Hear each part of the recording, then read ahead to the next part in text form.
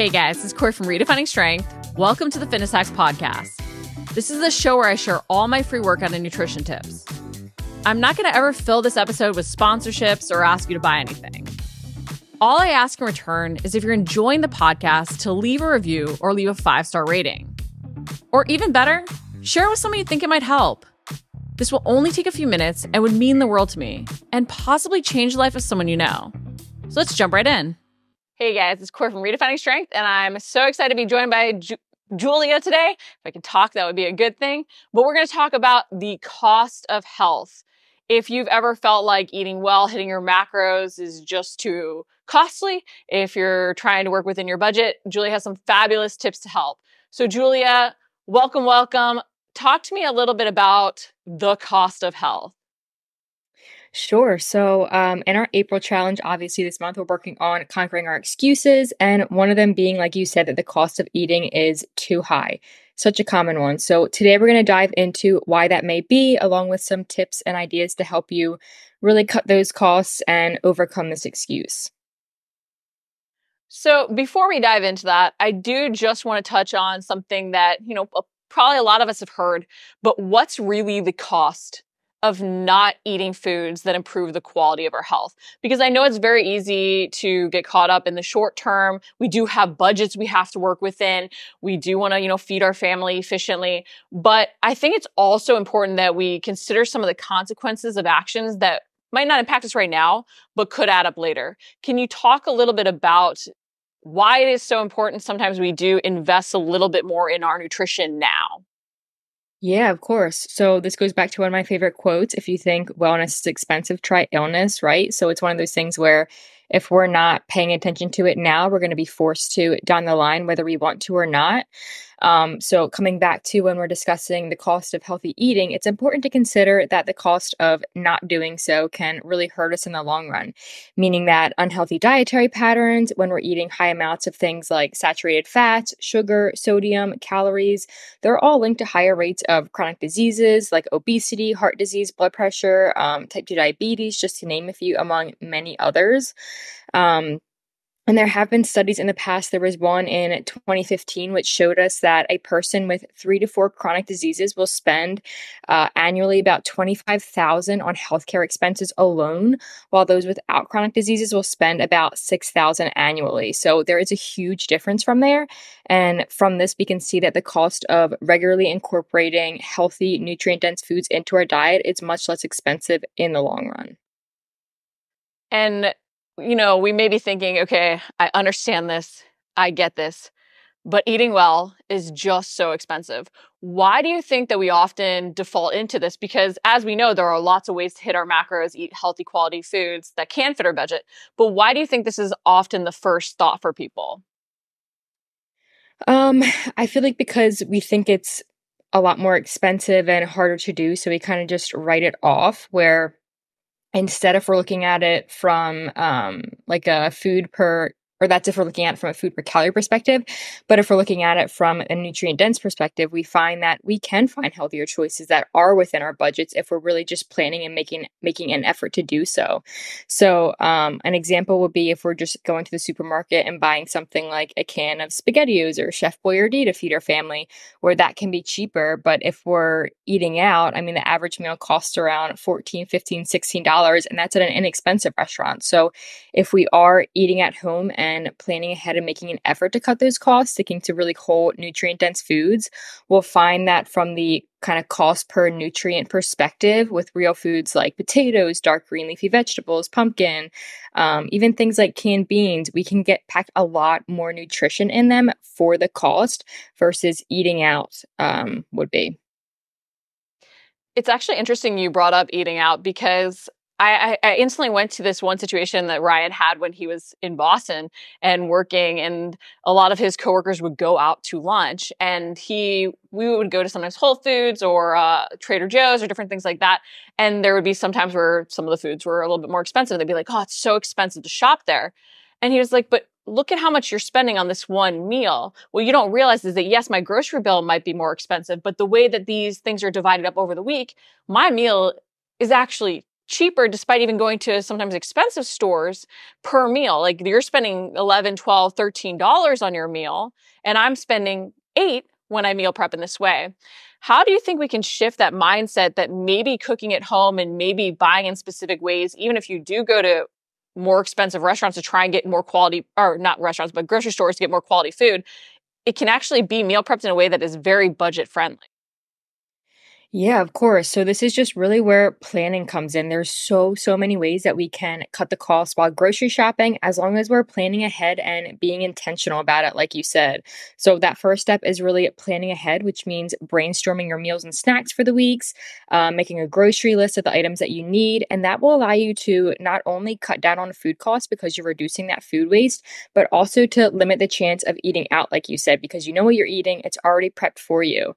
Um, and then I think the next step is next step is really just being a smart shopper. So this means if you're feeding a family, buying items in bulk that you can, um, as well as just shopping store brands and being smart about it. So for a lot of items like um, meat, poultry, yogurt, um, things like nut butters, they have store brands available, which are the same ingredients as those name brands that you may see. So you're getting the same nutritional value for a lot cheaper. Um, and also just being it being aware of sales, taking advantage of things like the frozen section. So that's a huge one. A lot of us think that uh, frozen produce is less nutritious and it gets a really bad rap, but it's actually usually harvested when it's ripe, meaning that it often contains more nutrients than fresh for a fraction of the price. So it can be easy to fall into the marketing of you know expensive healthy products whether that be um, salad dressings condiments or even packaged foods. Like there's so many different things today like almond flour crackers all these different things that we hear um, screaming that they're so good for us. But honestly, we have to remind ourselves that we don't need all these things. Um, for example, a can of beans for a dollar would pack more nutritional value than those crackers would for a fraction of the cost. So, this is why we here to also shop the perimeter, which is packed with whole nutrient dense foods that will offer more micro and macronutrients for a fraction of the price of most of those packaged foods in the middle well. I think it's interesting you bring up packaged foods because I want to go off on a little like clean eating thing. And a, a lot of times labels that have to tout the food as healthy. Like if you think about it, fruits aren't putting on there healthy, fiber packed, right? We don't see that on vegetables because we know these things are good. So a lot of these prepackaged foods that are trying to say they're keto to fit your diet or they're low carb or they have this health benefit, a lot of times they're forcing things to be that way. And not that some of them don't have health benefits, but a lot of times you're paying an extra price for these healthy labels for something that honestly isn't that much better for you. And you might be better served by gasp, getting the not clean variation. Not to mention this sort of clean eating um, delineation with food makes us avoid foods that we shouldn't. As you brought up, frozen foods. Uh, a lot of the fresh vegetables aren't necessarily more nutrient dense or better than frozen veg- vegetables or frozen fruits. A lot of times the frozen things are better. But even canned stuff, we'll shy away from canned tuna, from canned chicken, and a lot of those are just the meat. It's not a ton of ingredients that are added, but we shy away from those things because we think canned stuff, Chef Boyardee, right? So it's really understanding and looking at labels even to know what we're getting to not fall for the marketing terms that might just lead to a markup on some of the, the ingredients we're buying.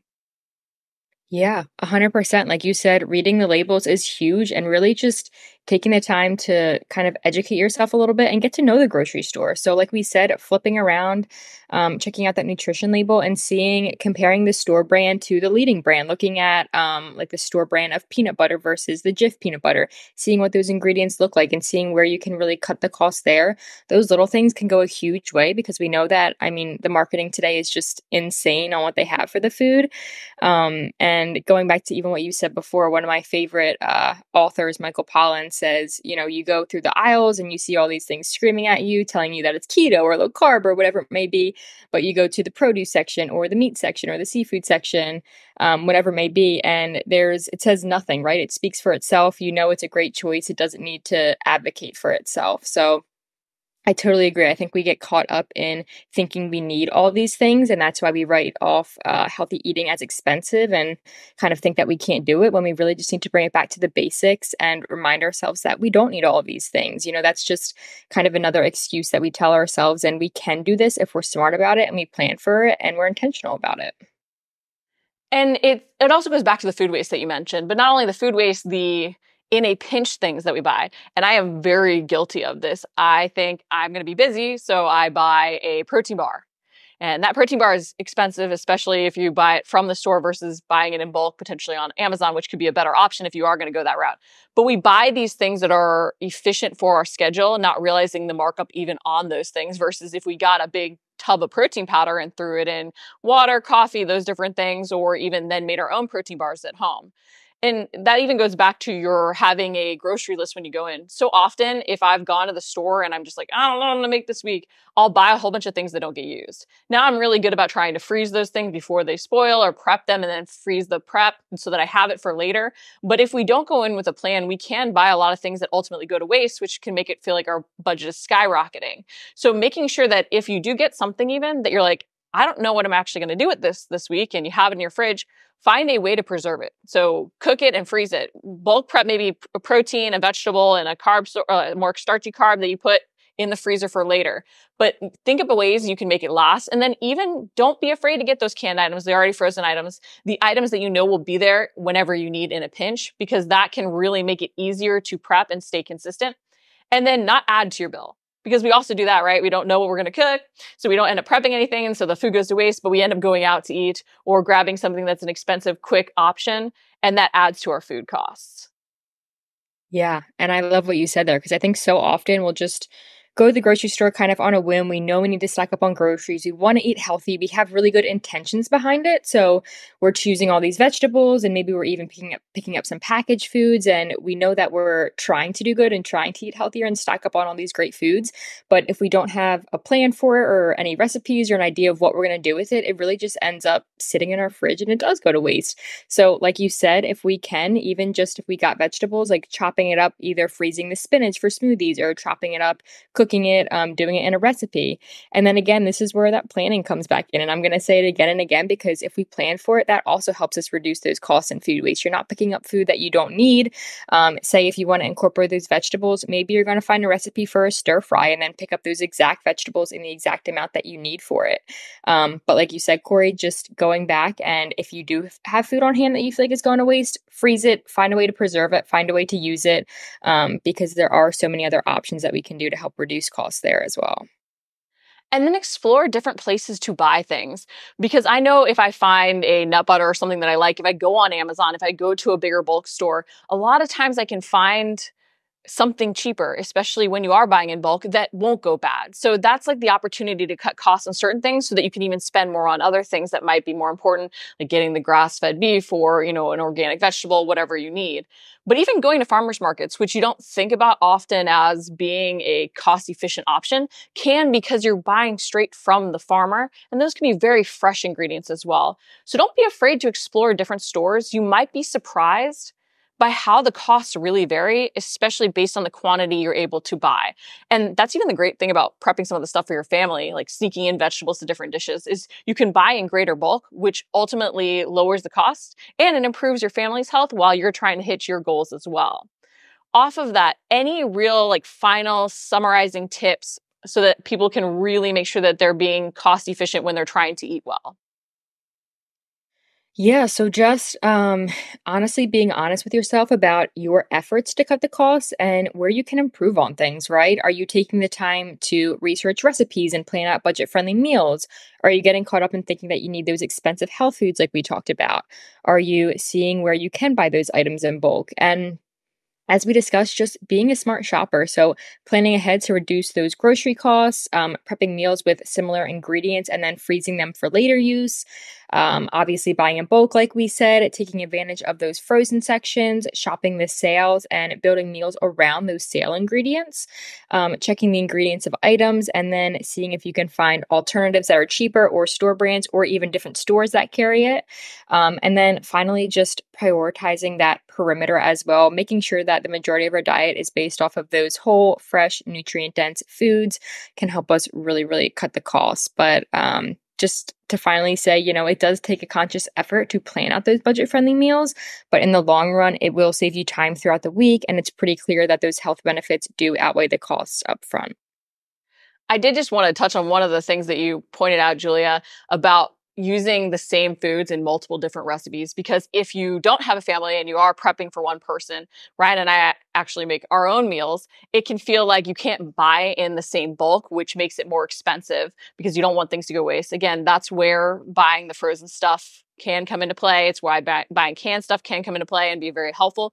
But it's also where if you plan ahead and you know you can use that vegetable in multiple different dishes in different ways, you can buy in greater bulk, which can lower the cost and keep even still a diversity of foods in your diet and make prep potentially even easier, which if you're lazy like me, it's it's a win-win.